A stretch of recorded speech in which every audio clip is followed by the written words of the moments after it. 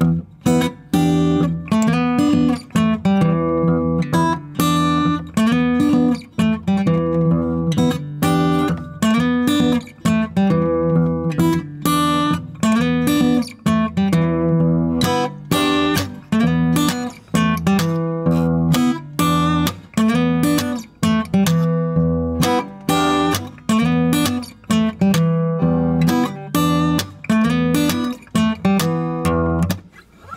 Hey guys, welcome back.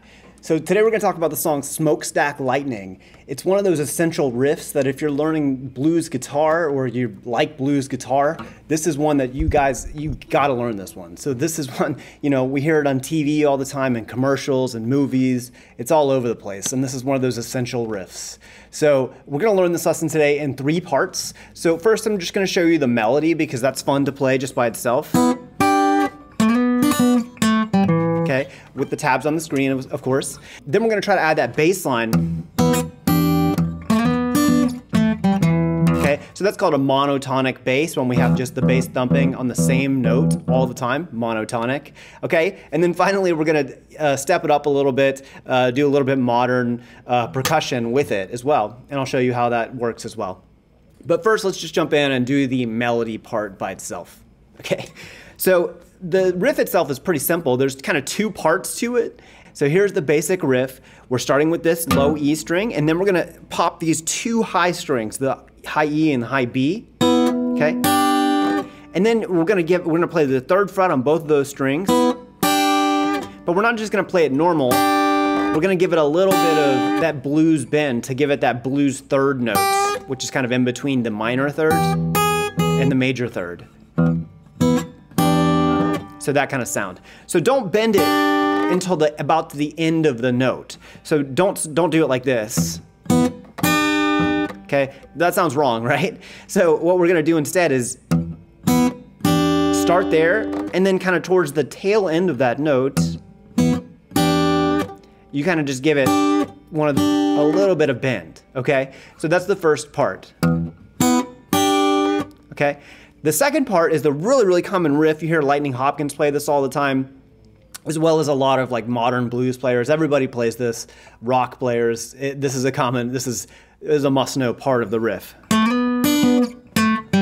Okay, that's that second part. So let me slow that down. So you're gonna go. You're gonna take these two fingers, your first and second fingers, and basically kind of start them in the first and second frets even though we're not going to play this first fret note with our first finger. We're starting here on the second fret of the third string, and, and just kind of shape your fingers like this, so that when you get up to this part, your hand is ready to play that. So sliding second finger on the third string, second fret to fourth fret, and then you're going to go to the second string, third fret with the first finger. So all together it's this. Okay. Again, sliding to four, three, four. Then we're gonna slide that second finger down.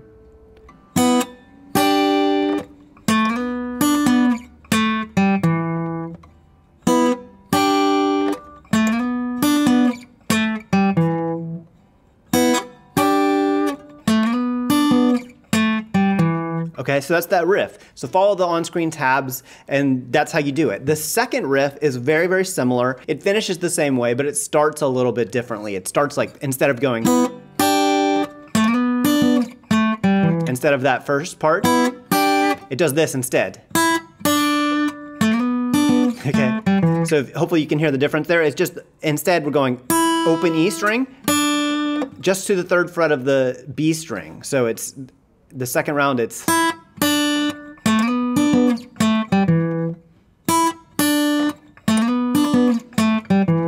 everything else is the same on that riff, okay? So get that under your fingers first, and then second, this is a great piece for you to start working on monotonic bass, getting that thumb independence going a little bit so you can concentrate on the melody and just hopefully have this thumb just kind of clicking away on the quarter notes, okay? So this is what that would sound like if you're putting those together. So basically we're gonna start with that thumb,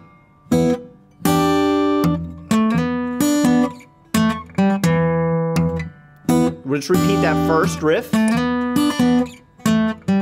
Okay, Let's slow it down now. So just try to notice on the tab where the melody notes and the bass notes line up. Okay, that'll help you the most, like meaning where they're perfectly in line, meaning we're gonna play those together.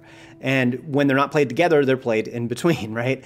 Uh, so, so here it is together. I'll play it slowly a few times, but basically it's the same riff, but we're just adding the thumb every quarter note, every beat. Okay, so one, two, three, four, one, two, three, four, one, two, three, four, one, two, three, four, one, two, three, four.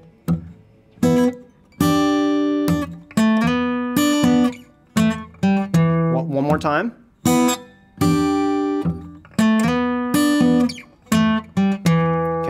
You can see when I'm sli I'm sliding up, this note lines with that note. So the fourth fret, that's a tough part.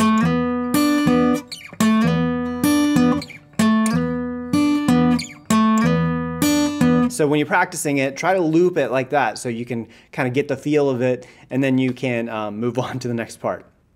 Okay, so that's actually the main riff. That's how most people play it. That's how actually everybody plays it. Um, except for probably there's some modern fingerstyle players now that are adding some percussion to it. That's what I call modern fingerstyle is when you're adding some elements of percussion. Uh, there's different types of percussion. Here we're doing a simple thumb slap on the sixth string uh, with everything else. So instead of just going one, two, three, four on beats two and four, we're gonna go slap on the E string like this. So one, two, three, four. One, two, three, four. This is how the real song kind of goes. Of course, it's a full band. You know, it's it's not a guitar, but this is just a fun way of playing it. So, and this is a lot harder. So if if you're struggling with the monotonic bass section, you know, I would wait for this to you know get that good before you move on to this. So let's go through the riffs here, adding the percussion. The techniques are going to be a little bit different. Sometimes when we have a percussion note, you can't pluck in this direction. What you have to do is pluck. Okay? It's kind of like we're hitting the string and then pushing the fingers out. Okay? Right now I'm aiming to hit these two strings strings one and two, along with a slap here. Okay, so just at first, just see if you can do this. Okay, we're also gonna have to do a lot of left hand muting to get, you know, some of those notes in. Okay, so let me go through the riff slowly with the percussion. So it starts with